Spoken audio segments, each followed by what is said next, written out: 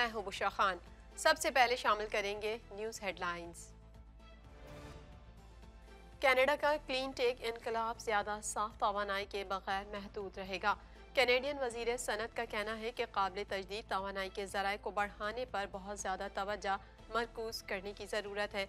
2024 में छोटे और दरमियाने दर्जे के कारोबारों पर तोज्जा मरकूज की जाएगी। कनाडा का आर्किटेक्ट समंदरी फर्श पर मुसाफती दावों पर अमेरिका के साथ काम करने का वादा। दोनों मुल्क समंदरी हिस्से पर मिल्कियत का दावा कर रहे हैं। समंदरी इलाके में तेल के बड़े जखायर मौजूद होने का इम्कान है।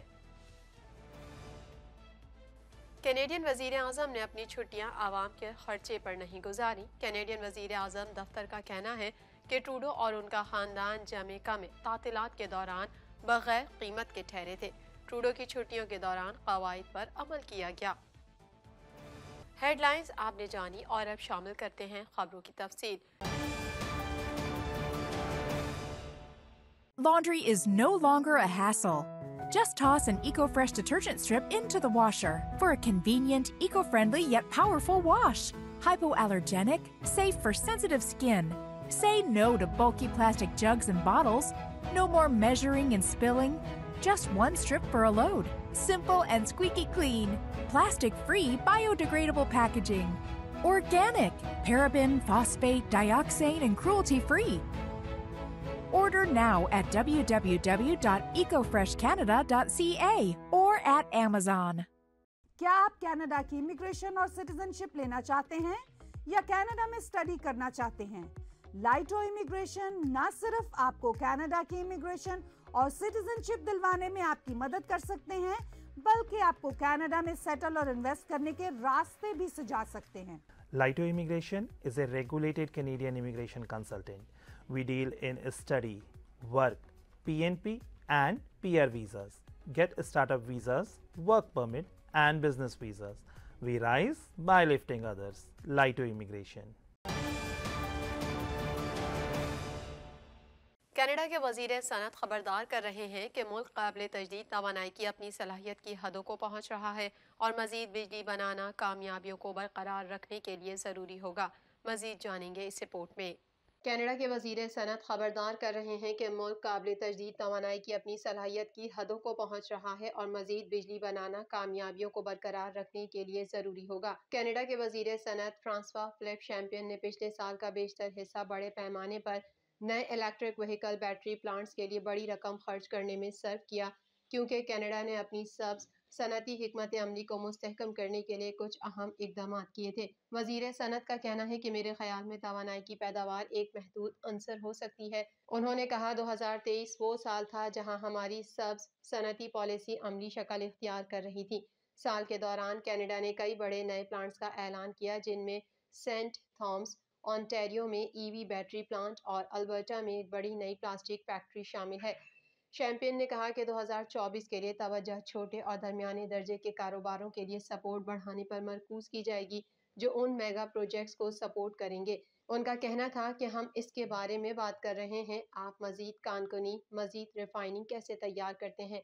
आपको इन कम्युनिटीज़ में तोानाई लाने की ज़रूरत है। उन्होंने कहा कि कनाडा को आने वाले महीनों और सालों में छोटे न्यूक्लियर रिएक्टरों की तरक्की और दीगर काबिल तजदीद तोानाई के ज़राए को बढ़ाने पर बहुत ज़्यादा तोज्जा मरकूज करने की ज़रूरत है। नोटिंग पावर पहले ही प्रोजेक्ट की मंजूरियों में एक अंसर बन चुकी है। कनाडा पहले ही माहौल दोस्त जराए से बिजली पैदा करने में दुनिया के बेहतरीन ममालिक में शामिल है।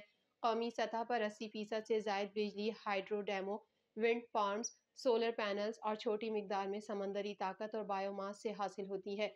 लेकिन विफाकी हुकूमत को तो है कि उसकी आबो हवा की मुंतकली को ताकत देने के लिए 2050 तक मुल्क को दो से तीन गुना ज़्यादा काबिल तजदीद तोानाई की ज़रूरत होगी। 2035 तक कनाडा का इरादा है कि 100 फ़ीसद बिजली माहौल दोस्त हो, यानी वो काबिल तजदीद ईंधन या जीवाश्म ईंधन की सहूलियात इस्तेमाल करता है, जो कार्बन की गिरफ्त और ज़ख़ीरा करने के निज़ाम से लेस है। विफाकी हुकूमत इस बात पर भी इसरार कर रही है कि गैस से चलने वाली कारें 2035 के बाद फरोख्त होना बंद कर दी जाएँ और ज़्यादातर दरमियाने और हैवी ड्यूटी वाली गाड़ियों को 2040 तक बिजली से चलाया जाए। कनाडा के एनर्जी रेगुलेटर ने पेश गोई की है कि अगले 30 सालों में बिजली की तलब में तकरीबन 50 फ़ीसद इजाफा होगा, जो कि इलेक्ट्रिक गाड़ियों और हाइड्रोजन की पैदावार की ज़रूरियात से बहुत ज़्यादा है। शैम्पेन वाजे है कि सरमाकारों के साथ किसी भी बातचीत में क्लीन पावर इसके लिए एक अहम सीलिंग पॉइंट है।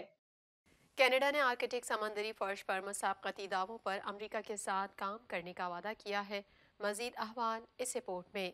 कनाडा ने आर्कटिक समंदरी फर्श पर मुसाबकती दावों पर अमरीका के साथ काम करने का वादा किया है। गुजशत माह दायर किए गए अमरीकी दावे में बीफोर्ट समंदरी फर्श का एक बड़ा हिस्सा शामिल है जिसे कनाडा भी कंट्रोल करने की कोशिश करता है। विफाकी हुकूमत अपने अमरीकी हम मनसबों के साथ मिलकर काम करने का अहद कर रही है। जब अमेरिका ने आर्कटिक समंदरी फर्श के कुछ हिस्सों पर दावा किया, जो कनाडा भी चाहता है। ग्लोबल अफेयर्स कनाडा के तर्जुमान ने एक ईमेल में कहा कि कनाडा अकवाम मुतहदा के माहे में तयशुदा अमल की पैरवी करने की तो रखता है। इस हकीकत के बावजूद कि अमरीका ने समंदर के कानून से मुतालिक कन्वेंशन की तोसीक नहीं की है। तर्जुमान ने लिखा, कनाडा और अमरीका आर्कटिक में बर आज़मी शल्फ के हवाले से मुतवा रबते में रहते हैं और दीगर आर्कटिक रियासतों के साथ मिलकर ओवरलैपिंग दावों के मुनज़म तस्वीर के लिए अपनी वाबस्तगी का इजहार किया है।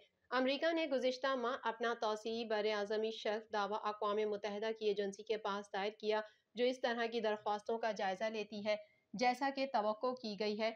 इसमें बीफोर्ट समंदरी फर्श का एक बड़ा हिस्सा शामिल है, जिसे कनाडा भी कंट्रोल करना चाहता है। अकवा मुतहदा के माहे के तहत ममालिक को ये हक हासिल है कि वो माहौल का इंतज़ाम करें और समंदर के फर्श पर कुदरती वसाइल तैयार करें। अगर वो ये साबित कर सकें कि उनका बर आज़मी शेल्फ उनके साहिल से 200 नाटिकल मील या तकरीबन 370 किलोमीटर से ज़्यादा का फासला है और ये एक कुदरती तोसी है। बर आज़म तोसी शुदा बर आज़मी शेल्फ के हकूक में माहीगीरी या शिपिंग जैसे मामला पर कंट्रोल शामिल नहीं है। अकवा मुतहदा सरहदों पर हुक्मरानी नहीं करता लेकिन हर मुल्क के दावे के पीछे साइंस का जायजा लेता है। और इसे किसी तस्वीर पर बातचीत करने के लिए छोड़ देता है। अगरचे अमेरिका ने समंदर के कानून के कन्वेंशन पर दस्तखत नहीं किए हैं, लेकिन उसने उसके अंदर काम करने का अहद किया है। कनाडा की कंट्रोल से एक अशारिया दो मिलियन मुरबा किलोमीटर समंदरी फर्श कनाडा के कंट्रोल में आ जाएगा। ये इलाका अल्बर्टा और सेस्की चौन के मुश्तर साइज़ के बराबर है। रियासत हाय मुतहदा के जियोलॉजिकल सर्वे का तखमीना है कि उसमें 10 बिलियन बैरल तेल के मसावी ज़खीरा हो सकता है। हालाँकि इस तादाद को एक मुश्किल आदाद शुमार के बजाय आर्किटिक अर्जियात की बुनियाद पर एक इम्कानी तशखीस समझा जाता है। कनाडा के पीएमओ ने वाजे किया कि वज़ीर अजम ट्रूडो और उनका ख़ानदान जमेका में तातीलत के दौरान बिला कीमत ठहरे थे। मजीद जानते हैं इस रिपोर्ट में। कनाडा के पीएमओ ने वाजे किया कि वज़ीर अजम ट्रूडो और उनका खानदान जमेका में तातीलत के दौरान बिला कीमत ठहरे थे। कैनेडियन वज़ीर अजम जस्टिन ट्रूडो का दफ्तर वाजे कर रहा है कि वो और उनका खानदान जमेका में फैमिली, फ्रेंड्स की मिल्कियत वाले मकाम पर बगैर किसी कीमत के छुट्टियाँ गुजार रहे हैं। इब्तदाई तौर पर यह कहने के बाद कि फैमिली उनके क्याम के लिए अदायगी कर रही है। वज़ीर अजम के दफ्तर ने एक बयान में कहा कि विफाकी अखलाकियात कमिश्नर से सफ़र से कबल इन तफसीत के बारे में मशवरा किया गया था। ताकि इस बात को यकीनी बनाया जा सके कि कवायद पर अमल किया जाए। कैरेबिन जजीरे पर ट्रूडो की छुट्टी ख़त्म होने से एक दिन कबल दफ्तर ने यह वजाहत पेश की। वो वहाँ सूफी ग्रेगवर ट्रूडो और उनके तीन बच्चों के साथ हैं। बॉक्सिंग डे पर ख़ानदान के जमेका के लिए रवाना होने से पहले ट्रूडो के दफ्तर ने कहा कि उसने अखलाकियात कमिश्नर से मशवरा किया और ख़ानदान उनके क़्याम के अखराज को पूरा करेगा और सरकारी तैयारे में सफ़र के अखराज आवाम को अदा करेगा। उनके दफ्तर ने कहा वज़ीर अजम अपने ज़ाती सफ़र और अपने ख़ानदान के लिए कमर्शियल एयरलाइन के टिकट के मसावी रकम की अदायगी जारी रखे हुए हैं। हुकाम ने इस बात की तस्दीक करने से इनकार कर दिया कि ट्रूडो कहाँ रह रहे हैं। ईरान के सुप्रीम लीडर आयतुल्ला खामना ई ने ईरानी शहर करमान में धमाकों के जिम्मेदारों को सख्त जवाब देने का ऐलान कर दिया। सदर इब्राहिम रईसी ने अपना दौरा तुर्किया भी मनसूख कर दिया है। मजीद जान लेते हैं इस रिपोर्ट में। ईरान के सुप्रीम लीडर आयतुल्ला खामना ने ईरानी शहर करमान में धमाकों के जिम्मेदारों को सख्त जवाब देने का ऐलान कर दिया। सदर इब्राहिम रईसी ने अपने दौरे तुर्किया भी मनसूख कर दिया है। ईरानी सुप्रीम लीडर आयतुल्ला खामना ई ने धमाकों की शदीद मजम्मत करते हुए कहा कि दुश्मनों ने एक बार फिर तबाही फैलाई और बड़ी तादाद में लोगों को शहीद किया। इस तबाही का इनशाला सख्त जवाब दिया जाएगा। उन्होंने जवाहक होने वालों की मफफरत और जख्मियों की जल्द सेहतियाबी की दुआ भी की। दूसरी जानब अमरीकी हुकाम का कहना है कि ईरान में गुजशत रोज होने वाले धमाकों में दाइश मुलविस हो सकती है। अमरीकी हुकाम के मुताबिक ईरान में होने वाले धमाके दाइश के हमलों से मिलते जुलते हैं। बाइडन इंतजामिया के सीनियर अहदेदार का कहना है कि दाइश माजी में भी ऐसे हमले करती रही है। इराक में अमरीकी ड्रोन हमले में मारे गए पासदारान इनकलाब के जनरल कासिम सलेमानी की चौथी बरसी उनकी कबर के नज़दीक दो बम धमाकों में 130 अफराद जाबहक और मुतद जख्मी हो गए। ईरान के सरकारी मीडिया के मुताबिक धमाका उस वक्त हुआ जब जनरल कासिम सलेमानी की चौथी बरसी पर मस्जिद सुहेब जमा के साथ उनकी कबर के नज़दीक इज्तम में सैकड़ों अफराद मौजूद थे। यके बाद दीगरे होने वाले धमाकों की नोयत और मवाद से मुतल ताहाल कुछ मालूम न हो सका। धमाके की आवाज़ दूर दूर तक सुनी गई और इज्तिमा में भगदड़ मच गई। दर्जनों लोग कदमों तले कुचले गए। करमान के डिप्टी गवर्नर ने धमाकों को दहशतगर्दी करार देते हुए 103 अफराद की हलाकत और 60 के जख्मी होने की तस्दीक की। जख्मियों में से कम अज कम पंद्रह की हालत तशवीशनाक है। सोशल मीडिया पर वायरल होने वाली वीडियोस में देखा जा सकता है कि जाए वकुआ पर जा बजा लाशें बिखरी पड़ी हैं और एम्बुलेंसें, लाशें और जख्मियों को लेकर जा रही हैं। ताहाल किसी ग्रुप ने इन धमाकों की ज़िम्मेदारी कबूल नहीं की है। दूसरी जानब लबनान की मजामती तंजीम हिजबुल्ला के सरबरा हसन नसरुल्ला ने कहा है कि इसराइल ने लबनान पर बड़ा हमला किया तो हमारी महदूद जंग का दायरा ख़त्म हो जाएगा